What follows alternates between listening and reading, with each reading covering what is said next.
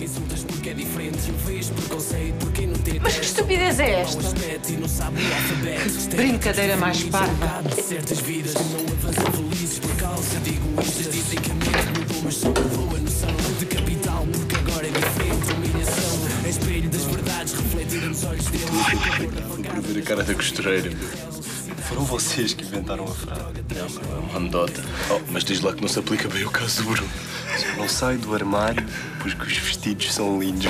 Excelente, a sério. Não fica por aqui, meu.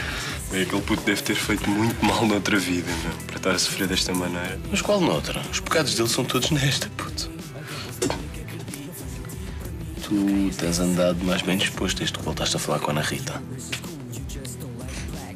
Ah, tinha de ver outra vez essa conversa, não é? Oh, puto, na boa, não te chateies. Kiko, Oh, o que é que esta quer agora? temos de continuar o trabalho. Meus senhores, eu estou a ouvir muita conversa. Eu pedi para vocês fazerem revisões da matéria enquanto eu corrigia as vossas fichas. Eu não quero ouvir nem mais um pio, por favor.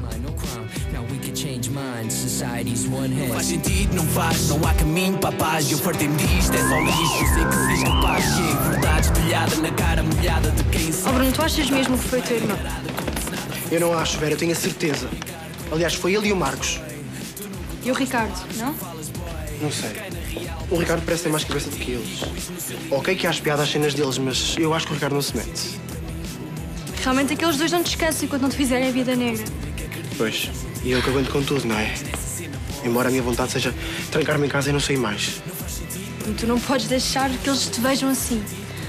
Eu sei. E eu não os vou dar esse gostinho, acredita? Quando dá-os acabarem, eu vou te encher de miminhos.